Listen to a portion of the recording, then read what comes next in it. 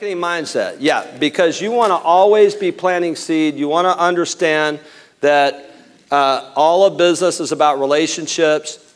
So, what we need to think about is that every single day uh, you need to be marketing. And what I learned from Joy, she said, there's one thing that I could say to you about marketing, it would be this be consistent.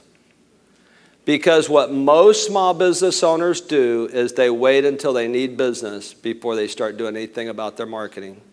And how many of you know that it's too late at that point? That everything that you do is going to be done out of desperation. So, what is marketing? It's everything that you do to attract prospects to your business. What does it do? It should increase sales, but it should attract the right prospects. Reason it's important is because uh, the one and only reason your business exists is to be a vehicle to help you achieve your life goals. The reason that it's important. All right, so how do you know if it's working?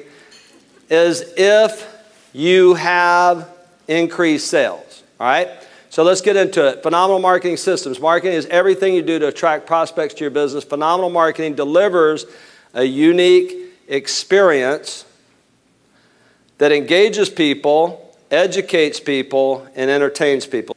If you want to be a phenomenal marketer in your industry, educate people.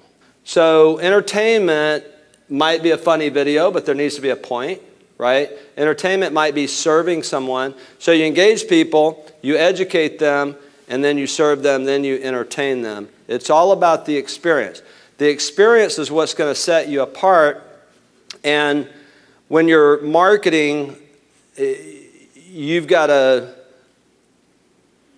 create an experience in marketing that's going to lead people to want to do business with you.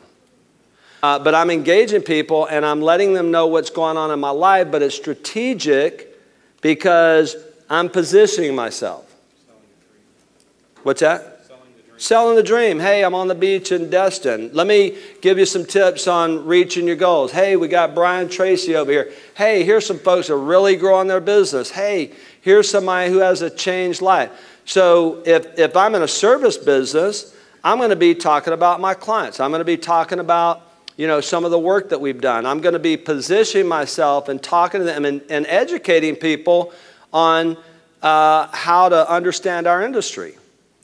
Education will set you apart from all your competitors. If you're the one that's educating the consumer or the prospect or your community on what it is that you do.